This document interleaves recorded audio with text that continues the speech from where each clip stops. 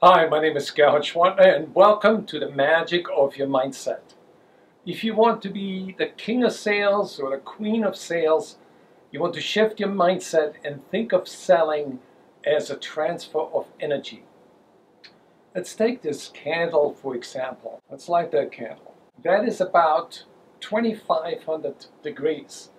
Imagine that candle as a metaphor for your company.